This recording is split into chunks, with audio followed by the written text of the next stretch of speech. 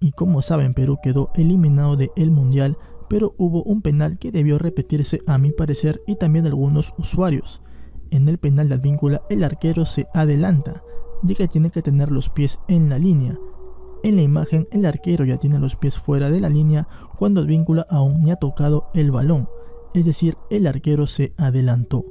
Quizás si este penal se repetía, Advíncula metía el gol y podría haber sido otra la historia. Quizás también no se repitió el penal porque Advíncula la mandó al palo. Si lo hubiera tapado el arquero probablemente se hubiera repetido el penal. Lamentablemente no fue así, Perú está eliminado del Mundial. Una pena porque siento que este grupo merecía el Mundial.